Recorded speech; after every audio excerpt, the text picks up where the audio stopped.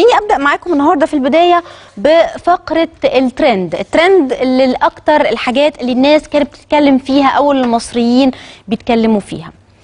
آه، المصريين من امبارح بيسألوا في إيه؟ إيه اللي حصل على واتساب وحصل على الماسنجر وعلى فيسبوك؟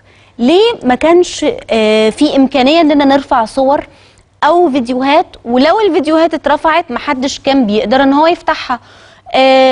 وفي نفس الوقت لما كنا بنتفرج كده على الهوم بيج أو بنتصفح على فيسبوك كنا بنلاقي الصور موجودة بس يعني ما بيتمش تحميلها يعني ما نقدرش إننا نشوف آه، الصور دي. المشكلة دي الحقيقة لاحظها كتير من مننا امبارح وتابعها. لكن الحمد لله المشكلة اتحلت النهارده الفجر تقريبا.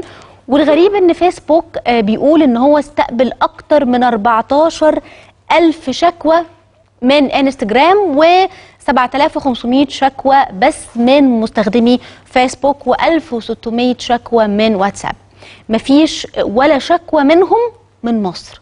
عشان كده فيسبوك نفسها ما حسيتش إن في إشكالية في مصر أو آه، في الدول العربية رغم إن المشكلة الحقيقة امبارح كانت عالمية يعني كل الناس كانت في كل العالم آه، حصلت لها المشكلة دي.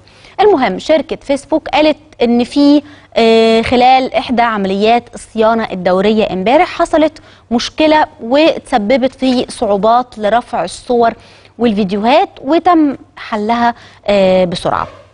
إحنا طبعا آه، كنا متضررين عشان كده يعني إحنا كمان للأسف إيقاع حياتنا وظروف حياتنا آه، متعودين على الواتساب وعلى الفيسبوك كوسيلة من وسائل الاتصال اليومية والمهمة جدا جدا في حياة الناس. لكن الشركة الحقيقة كمان تضررت أكتر بكتير وخسرت عشرات الملايين من الدولارات وده من عائدات الإعلانات. وصدر النهارده تقرير أمريكي بيقول إن انقطاع الخدمة مرتبط على ما يبدو ببنية تحتية داخلية أو مشكلة خاصة بالتطبيقات. ده الخبر الأول اللي كان شاغل الحقيقة.